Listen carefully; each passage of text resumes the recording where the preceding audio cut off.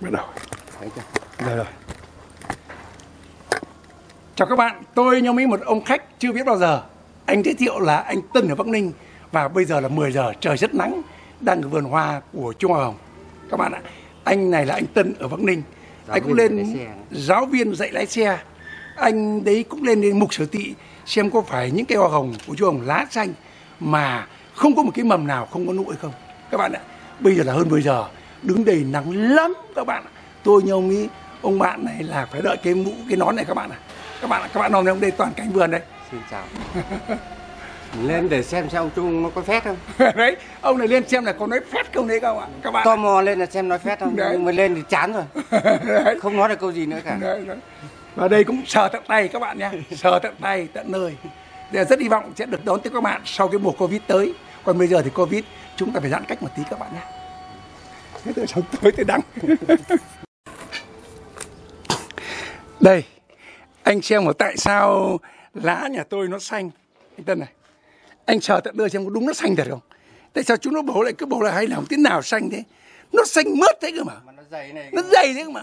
Nó không mỏng đâu mà nó có éo ở. ừ đấy. Đấy. Ông đi dạng chân hai bên thì ông đi được dạng chân hai bên. Đấy dạng chân hai bên ông đi vào mãi mãi trong kia đấy tôi vẫn dạng chân này.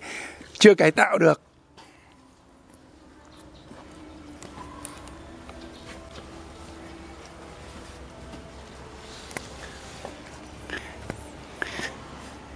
mấy giống đây có độc ba, hai giống tôi, chỉ ông đào nhưng mấy ông cổ của mình đấy đây này, mới hôm nay tôi chưa quạt nhá.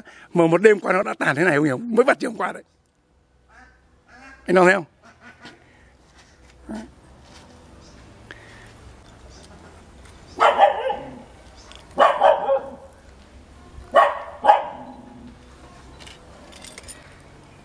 Đây trồng thứ một Sapa là được đây cổ Sapa trồng thử đây. Cũng mua tháng 2 đây. Mấy ông bạn bảo hôm nào mẹ tôi đi Sapa. đây tôi ông thấy như thế này là nó chịu với cái giá thể của mình. Anh à phải không? Như thế nó chịu với giá thể của mình đấy ông năm để nồng cái sức sống lên thế này thì đến tết nó phải kín miệng. Không đấy anh phải lưu ý là cái sức sống nó như này còn non của anh còm gióm có co thế thì làm sao? Đây giống của anh đây này nó lên nó vượt lên như thế này thì phải không Nhưng cái nếu mà cái màu đỏ của tôi nó sẫm hơn cái màu đỏ. sẫm hơn à, đúng rồi cục của anh sẫm hơn nãy tôi nói cũng sẫm hơn đấy Đây. đấy ờ rồi rồi rồi cả làng Văn Giang là duy nhất, đúng là mình vào đúng nhà duy nhất.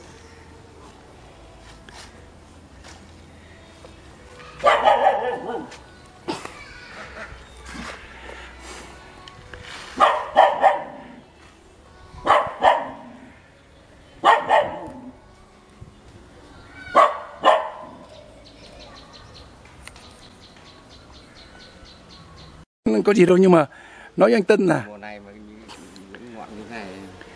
đấy. Này Tết nếu tí tháng 8 thì cắt trong cái lứa đầu tiên ông xem. Xong sẽ lên như măng luôn. Cái cái lứa đấy là nó phù hợp với thời tiết. Ông hiểu rồi cái tháng 8 mà, mà ờ, 15 tháng 8 nó cắt nó phù hợp với thời tiết. Thu. Tiết thu. Đấy thế còn ông này. Rồi tí ra kia tí bọn mình chê- quay đến một đoạn. Và